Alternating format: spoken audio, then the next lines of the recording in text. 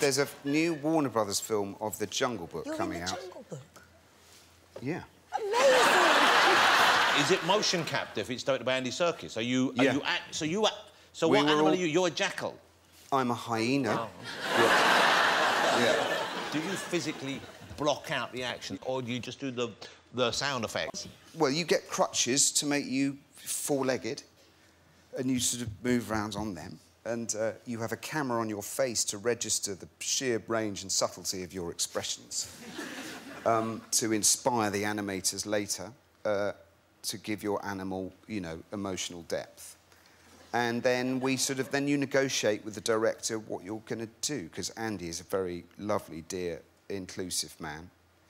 I had, for instance, Tabaqui at one point, my character Tabaqui, uh, Tabaqui the hyena, he got, he got bitten, I think, or I cut my thigh or something, and I had to run back to the burrow where we lived and um, where Shere Khan was waiting, plotting, waiting to take over the world.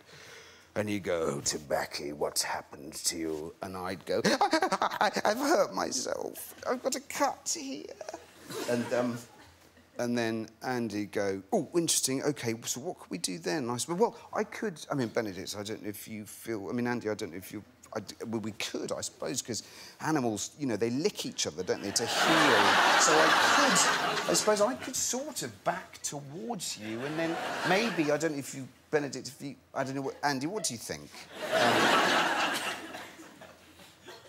yeah, I think it's a good idea. Um, I think it's a good idea. Benedict, if you lick here on Tom, so um, Shere Khan licks Tabaqui's bottom and Tabaqui goes because he's so excited to be working with Benedict Cumberbatch. Uh, yeah, he loses it. And um, So you've uh, you've been licked on the backside, pissed by on by Benedict Hiddleston. and It's pissed been on by a Tom terrible Hiddleston. year. Yeah. Wow. The Golden Buzzer acts this year particularly strong, and David's is outrageous. So this is when As uh, you'd one judge was he aware you were rapping, or had he left the room? He was laughing his arse off from the sound booth, yeah.